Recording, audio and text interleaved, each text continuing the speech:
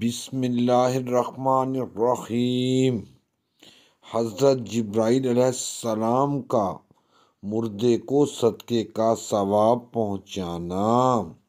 روایت، جس گھر میں کوئی مر جاتا ہے اور گھر والے اس کی طرف سے صدقہ کرتے ہیں، اس صدقے کے ثواب کو حضرت جبرائیل علیہ السلام نور کے طبق میں رکھ کر اس کی قبر پر لے جاتے ہیں اور کھڑے ہو کر کہتے ہیں، اے قبر والو، یہ تحفہ تمہارے گھر والوں نے تم کو بھیجا ہے۔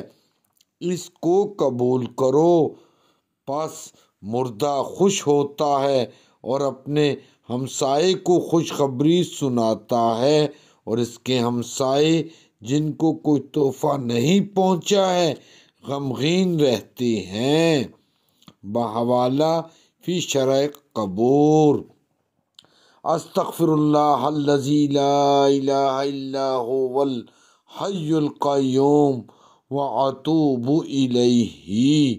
انتیس ایک سن دو ہزار تیئیس۔ اللہ اکبر۔